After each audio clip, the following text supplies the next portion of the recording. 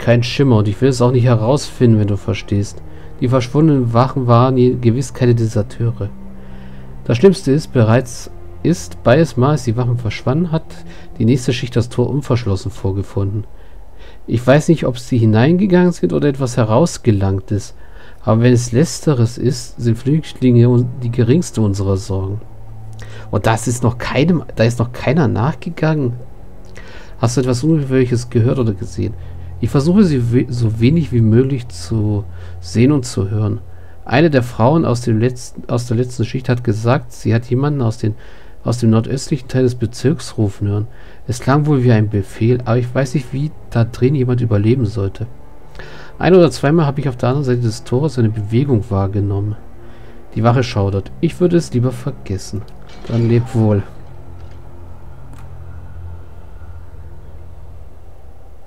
Okay, der Erbhügel. Oh. Ah.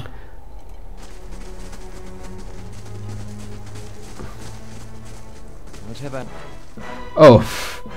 Was wollte Adolf gerade sagen? Was auch immer hier geschehen ist, gut, dass wir es verpasst haben. Skelette.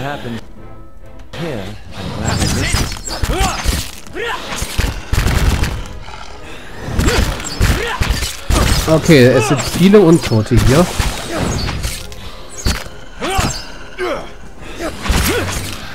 Skelettkämpfer sogar.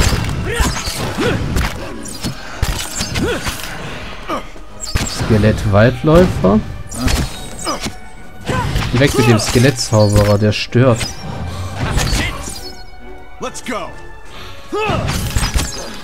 Hm. Äh. Wo ist Fenris? Ach so, dazwischen.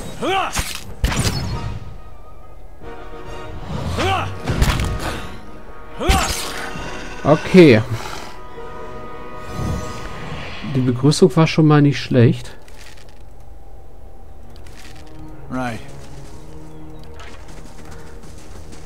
Wir sollten definitiv vorsichtig vorgehen. Ich hoffe, bei der Erbhügel ist... Na, der scheint auch nicht so groß zu sein, der Erbhügel. Hier, hier würde es Campingbedarf geben. Okay.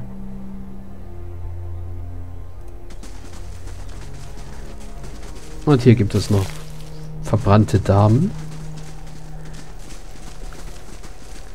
Eigentlich sollten wir fast schon vorsichtig durch den Erbhügel durchschleichen. Weil wenn uns ein Gegner ent, äh, enttarnt, wenn uns die Gegner auch so offen sehen, dann... Ah, schon wieder Gräber. Ja.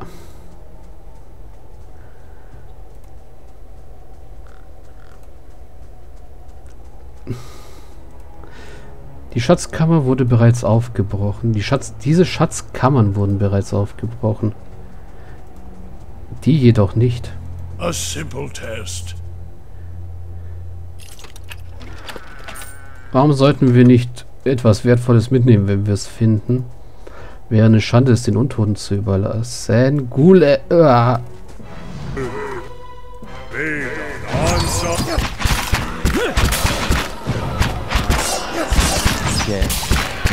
Au.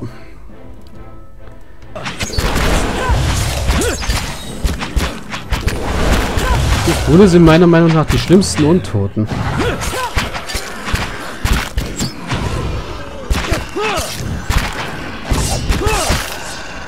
Ein Dargul? Äh. Versuch mal einen verwundeten Schuss gegen den. Oh, der, der klappt sogar. Flankiert und humpelt. Noch ein Darkwool.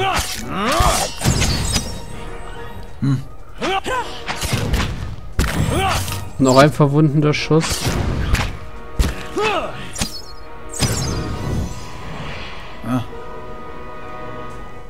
Uff. Okay, ähm. Dings, wie heißt ähm,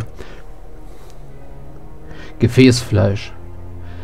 Zauberverteidigungsbonus. Oh, das wäre was für Palegina. Wobei die trägt ja schon ein Abwehr, eine Abwehrrüstung. Das können wir mal weggeben. Was mit dem ramponierten am Medaillon ist. Alof hat Intellekt Entschlossenheit. Reflexe Heilungsbonus, Abwehr.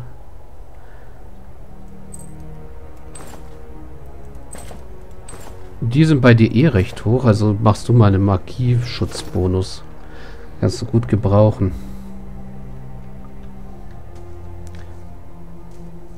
Da oben sind noch mehr Dark Ghouls. Let's see what lies this way. Okay, vorsichtig vorgehen. Schraffierte Klauenspuren an der Schatzkammer. Und ja, der Erbhügel ist tatsächlich nicht sehr groß.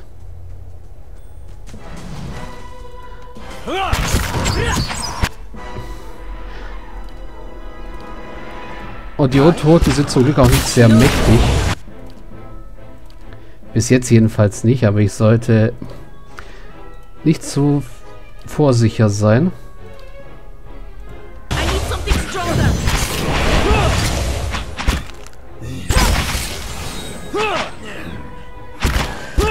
Oh, sie ist flankiert. Und ich glaube vergiftet. Ja, geschwächt.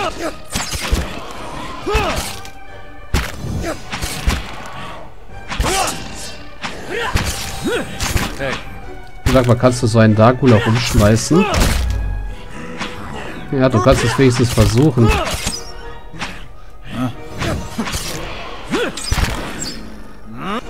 So. Jetzt noch der weg.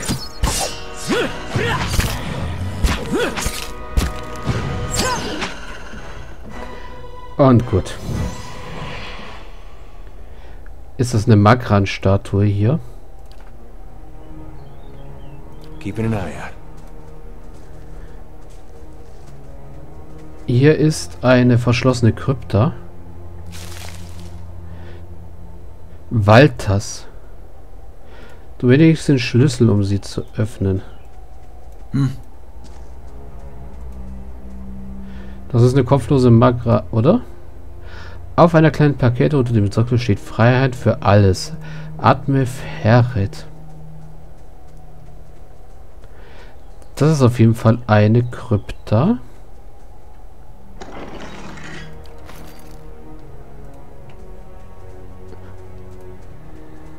Wobei ich mich jetzt erst hier in dem inneren Kreis hier oben zu Ende umgucken will.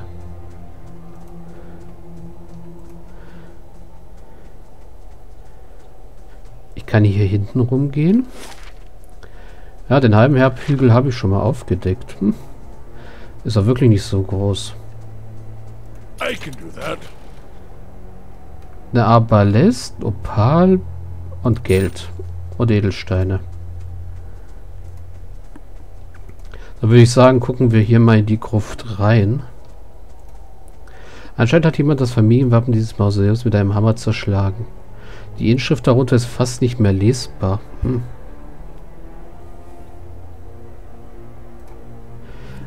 Entweder ist da drin, sind da drin Untote oder die Wachen haben sich hier verschanzt. Oder hier ist der Ursprung.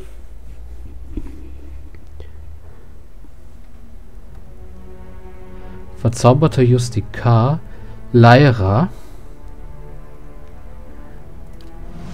Okay.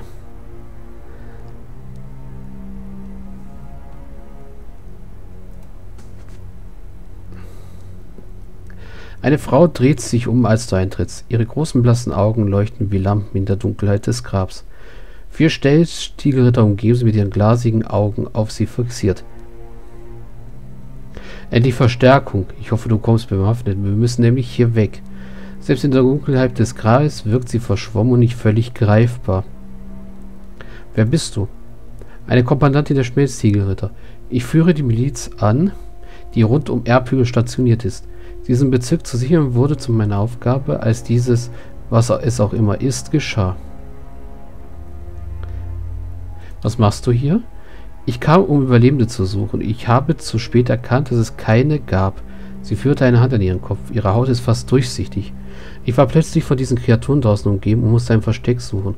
Fast schon komisch, nicht wahr? Sich in einem Gebäude vor den Toten zu verstecken, das für die Toten bestimmt ist. Sie tätschelt die Wand des Grabes. Wie dem auch sei, ich warte hier seit einiger Zeit auf weitere Verstärkung. Was tun diese Soldaten hier? Sie blickt sie an, aber entweder bemerken sie ihren abwesenden Blick nicht, bemerkt sie ihren abwesenden Blick nicht und wie sie auf den Füßen schwanken, oder sie denkt sich nichts dabei. Sie unterstehen natürlich meinem Befehl. Sie haben meinen Ruf gehört und wir warten seitdem darauf, dass noch einige Männer mehr kommen, damit wir hier uns, uns hier herauskämpfen können. Wie konnten sie dich in diesem Grab hören? Ihre Augen blitzten auf. Es ist etwas Unnatürliches daran, wie sie da schwebt und dich beobachtet. Ich hoffe, du zweifelst nicht an meiner Befehlsgewalt. Ich warne dich. Ich toleriere dein, keinen Ungehorsam. Ganz und gar nicht. Wenn du dann wieder bei Atem bist, sollten wir losziehen. Ich sollte, sage das wirklich ungern, aber du bist bereits tot. Ihre Augen werden kalt und hart. Ich erwarte eine Erklärung und zwar rasch. Du bist ein Geist und hast Schmelztiegelritter in den Tod gelockt. Sie bleibt plötzlich regungslos und schwebt in der Luft. Nein, das ist unmöglich. Es ist doch erst, ich kann nicht. Die andere Seite des Grabes ist durch ihren offen stehenden Mund zu sehen. Sie blickt auf ihre Hände, als würde sie zum ersten als würde sie zum ersten Mal sehen und wendet sich hin und her. Als ihre Augen und ihr Mund sich entsetzt weiden, dreht sie sich zu dir. Was hast du mit mir getan? Ihr Ausdruck verhärtet sich und die schmelzige Ritterhirte ihr rühren sich. Novizen Angriff. Okay, ich würde sagen, alle auf die. Äh.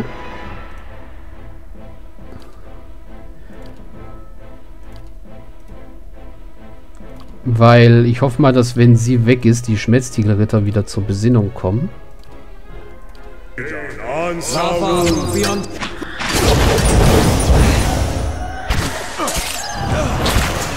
Genau, auf sie.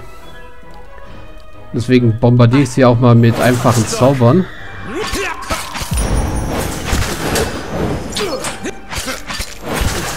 Wow, die hauen mich gleich, haben mich schon umgehauen.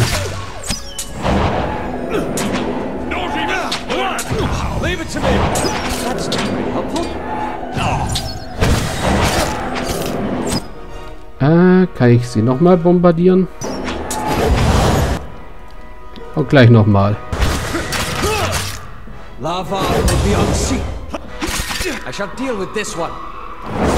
Komm.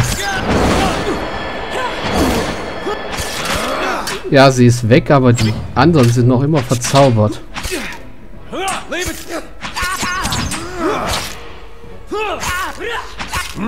Äh, du. Heil mal. Und jetzt schlag weiter zu. Edda, hau mal einen um. Und Kanna. Würms.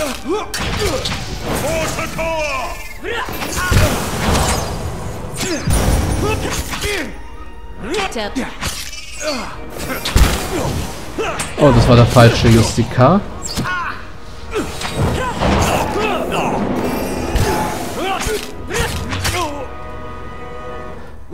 So. Der muss jetzt weg. Und dann muss noch der da weg.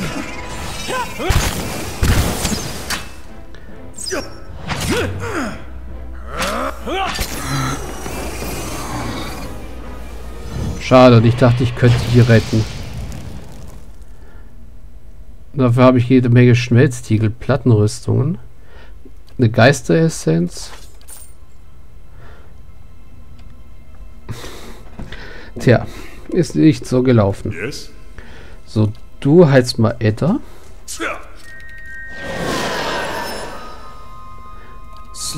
Ja. Und eine Falle. Kann ich die entschärfen? Finished. Ja, hat geklappt. Nur ein Zweihänder und ein Plattenpanzer. Und noch ein paar andere Reste. Schade, das war wohl vermisste Wachen.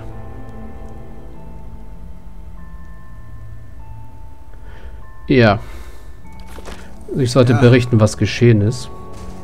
Aber erstmal gucke ich mich im Erbhügel weiter um und säubere ihn vollständig.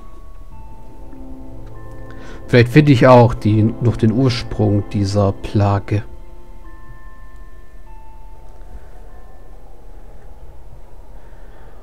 So, wieder rauszoomen. Right. Hello. Hello? Ja, kann er. Ich glaube, Kanna wundert sich da, wo alle anderen auf einmal hin verschwunden sind.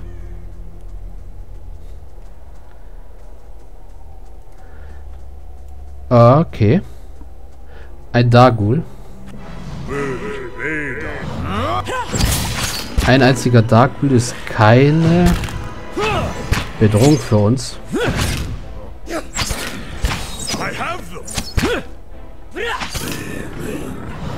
So, sehr schön.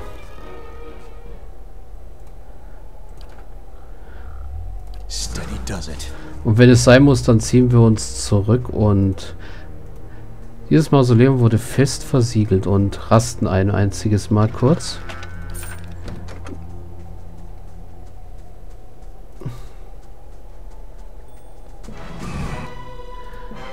Noch ein Dark Moon und ein paar Höhlen.